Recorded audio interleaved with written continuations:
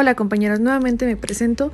Soy médico pasante del Servicio Social. Mi nombre es Lidia Monserrat Pérez Córdoba y el día de hoy vamos a hablar sobre sobrepeso y obesidad. Es importante recordar que la obesidad no solamente se trata de apariencia, sino también de salud, por lo que se considera una enfermedad. Esta enfermedad es sistémica, crónica, progresiva y multifactorial, aunque se define como una acumulación anormal o excesiva de grasa. La principal causa es una alta ingesta de nutrientes en relación con las necesidades de consumo, pero más específicamente se debe a alteraciones en el gasto energético, desequilibrio entre el balance en el aporte y utilización de grasas, eh, causas de factor metabólico, endocrinológico o genético o factores ambientales. El principal factor de riesgo es estar en estado de sobrepeso durante un tiempo prolongado, ya que puede existir progresión del índice de masa corporal. Para conocer el grado de obesidad utilizamos el índice de masa corporal, aunque existen otros aparatos para evaluar la composición corporal. El índice de masa corporal normal es de 18.5 a 24.9.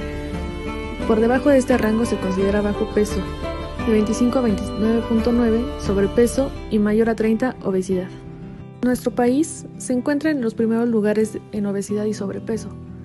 Es importante erradicar estos problemas ya que se asocian a gran número de enfermedades que repercuten en salud, esperanza y calidad de vida. Las principales enfermedades asociadas a estas entidades son diabetes, hipertensión, enfermedades cardíacas, cáncer, dislipidemias o enfermedades de la vesícula biliar. El manejo incluye elementos fundamentales como el consumo de una alimentación balanceada y actividad física, sin embargo, se requiere de un equipo multidisciplinario de especialistas para lograr los objetivos. Cada paciente requiere una dieta personalizada, sin embargo, estos son los requerimientos diarios sugeridos en un adulto sano, a excepción de embarazadas. Se recomienda realizar 30 minutos diarios tres veces por semana de actividad física, tiempo que puede ser destinado a cualquiera de estas actividades. Nos podemos apoyar en medicamentos encaminados a la pérdida de peso. Estos deben emplearse con un control de dieta y ejercicio. Estos son los medicamentos aceptados bajo prescripción y control médico. El más utilizado es el Orlistat y la metformina. La cirugía solamente está indicada en indicaciones específicas. Eso ha sido todo por hoy, gracias por ver este video.